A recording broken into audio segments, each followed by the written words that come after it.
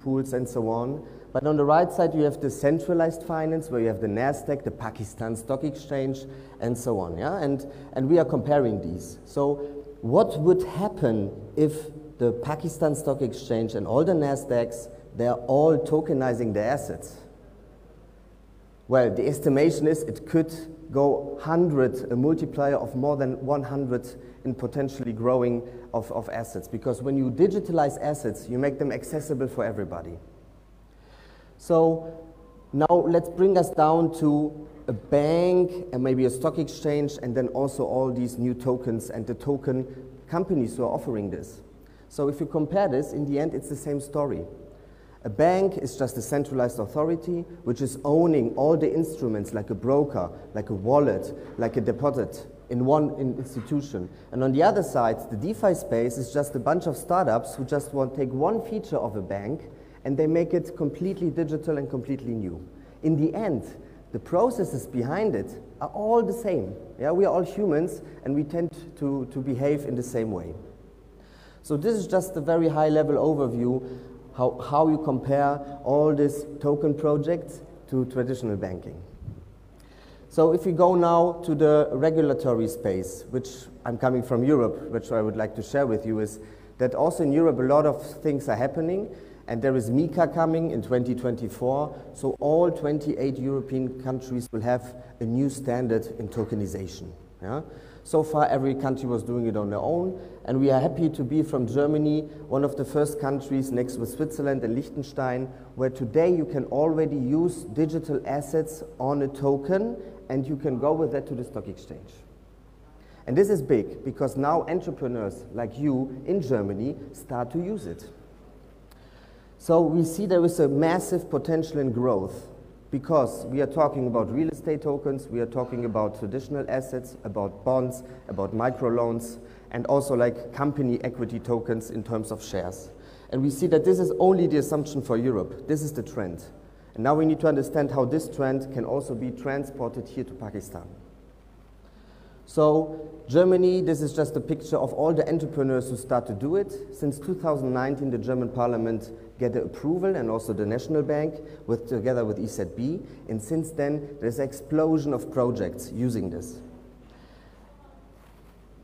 And uh, this is also the ecosystem in Germany. It is since 2019. You see here a lot of law firms, you see a lot of platform partners, and you see STOs. These are startups big startups who are using this as a fundraising tool without giving equity to investors. It's a non-equity uh, fundraising mechanism, which is new. Yeah? So for one example is the Tomorrow Bank. It is a challenger bank, a digital bank which wants to be sustainable. So this is how a German STO would look like if you would come with me tomorrow back to Berlin and you would like to do one. Yeah? So you see that uh, it's very simplified. You can raise one to eight million. You, can, um, in, you have a specific budget to invest to raise that money. The time is reduced, three to 12 months. It's, the prospectus is only three pages instead of 100. So you see that digitalization of tokens is, is making the things more simple, more transparent. And the, the Deutsche Börse is still not ready yet. Yeah? So it's by law approved, and the entrepreneurs are faster, and they do it. But the Deutsche Börse is working on it, and it's introducing it officially end of this year, beginning of next year. So, whew, this has been a lot yeah, to process, but how we can transform this now to Pakistan. And I think that we should go the smallest, easiest step first. So let's challenge it and that we create security tokens as well in Pakistan for you, for the entrepreneurs, and for the National Bank. So tokens and securities, just to break it down, it's the same what happens to email and to normal letters. We got rid of an intermediary. Yeah, this is the digitalization in the postal space. And digitalization of assets for, for, for the National Bank and also for the, for the stock exchanges, that we get rid of a lot of intermediaries in between. Yeah? So this is the potential behind it, and that's why we like it. It's the first step when you consider to implement such a technology in your country. And how would this look like in the global perspective? Here you can see the overview of all digital assets which are available on blockchain. And here you can also see we have three categories, the cryptocurrencies, the security tokens, and the non-fungible tokens. Non-fungible tokens NFT, no regulation at all. Anybody can do it. No ban, it's just a, a picture, it's art, it's wonderful.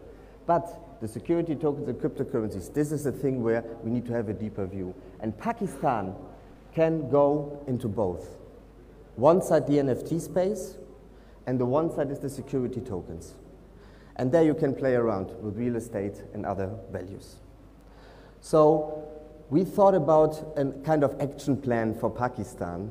And today the, the stock exchange of Pakistan, they are processing more than 49 billion in a year, which makes an average trade volume of 26 million USD every day. Yeah? This is what is happening now here in this country.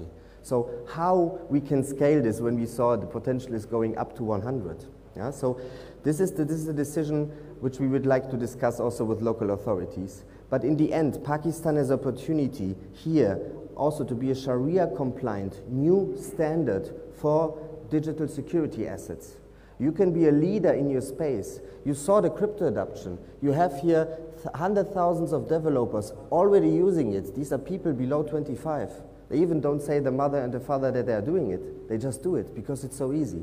So this is a great opportunity where the National Bank and the Stock Exchange, hand in hand, can take that trend and transform it with the learnings from Germany, from the States and so on, to a, to a new standard in here. And this will take, I think, one to two years, which will be tough, but it's now a good moment to decide if you want to go in that direction or not.